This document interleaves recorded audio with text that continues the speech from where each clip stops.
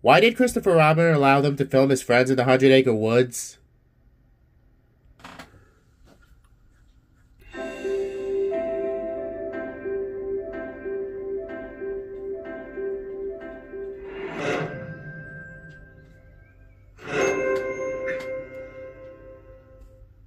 Oh man, I can't wait for this crossover!